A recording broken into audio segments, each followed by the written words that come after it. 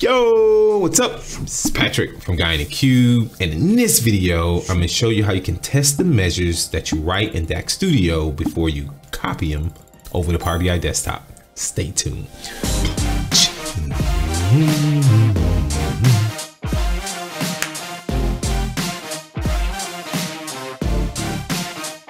You're finding this for the very first time, be sure to hit that subscribe button to stay up to date from all the videos from both Adam and this guy. Okay, done a lot of videos showing you how to write your measures in DAX Studio. And, you know, once you write them, you got to copy them over to Power BI Desktop before you can actually see if they work. And in this video, I'm to show you how you can just stay in DAX Studio, test them out, and then once you validate everything's correct, then you can copy it over to desktop without any worries. So you guys know I like to do. Instead of all this talking, let's do what? Let's head over to my laptop. You've created this report. You want to adopt a pattern that hides these future dates. Marco and I did a video on this, and Marco actually wrote a really good blog post on this. You should probably go watch the video and read the blog post if you want more details about that. In this video, I'm not showing you how to write DAX. I'm just showing you how to write DAX Studio to simulate what Power BI Desktop is doing. So let's say you have this and you want to go modify the measure to hide future dates over in DAX Studio, but then you want to test that measure out before you bring it back to Power BI Desktop. So what you do is you go here, make sure you have DAX Studio installed, click on external tools, it'll open up connected to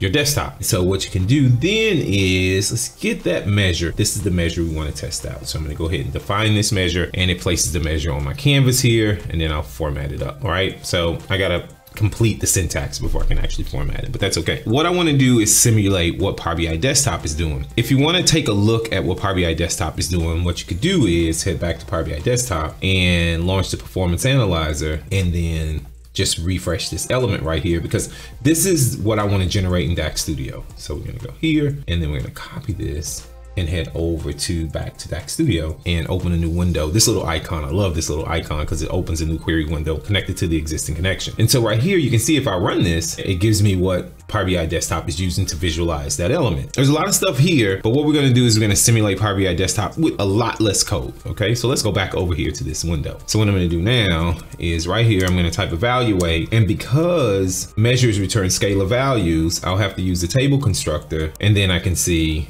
just that value. But that's not what I want to do. I actually want to create a table. So what we can do is boom, boom, and all you have to do is use summarize columns. So let's go over here. Let's take a peek. So you can see right here, it's using summarize columns and we'll get into this part, but this is exactly what Power BI Desktop is doing. So we're gonna go here, summarize columns. Let's add this parentheses back so you can see the parameters that it accepts. All the columns, how do we wanna group the data? We're gonna add our filter and then we're gonna name the expression, right? The measure that we're gonna test out. Over on Power BI Desktop, we were looking at this by month. So we're gonna choose month. And then the second parameter was a filter. So you see how it says filter table. So that's okay. But you can add multiple group by columns if you wanted to. Probably because I know I sorted my month by another column, I will probably include the month number here just to keep things consistent. And then if you go back over and see what Power BI Desktop did, it did use the treat as, and then it used it as part of the summarized column. So all I'm gonna do is copy this, right? I'm just gonna copy this. You can type it up if you want to. Paste it right there,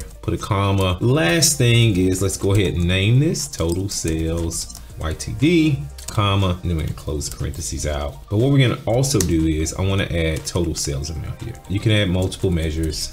And now I'm gonna format this up. It says, hey Patrick, you messed something up. What did I mess up? Why did I mess up? Oh, here we go, I forgot a comma. No big deal, forgot a comma.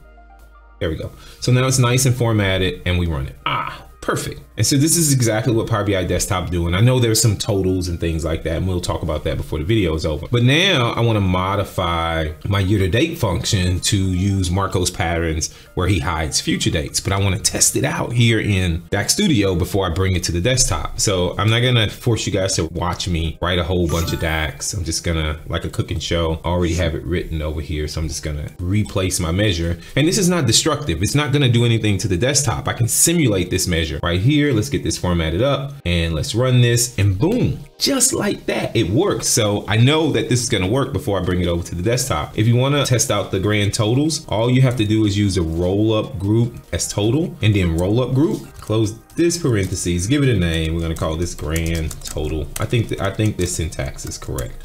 It'll tell us if it's not.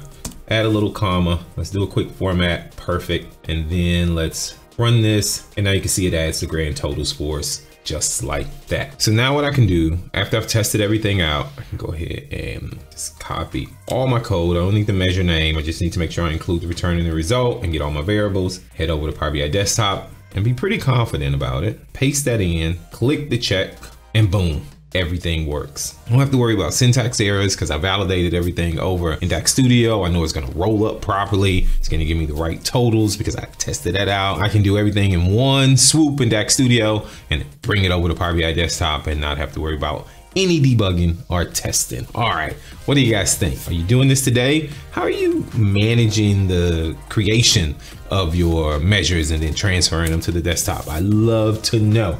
Um, you know what to do. Let's continue the conversation where? In the comments below. If it's your first time visiting the Guy in a Cube channel, hit that subscribe button. If you like my video, big thumbs up. As always, from Adam and myself, thanks for watching. We'll see you in the next video.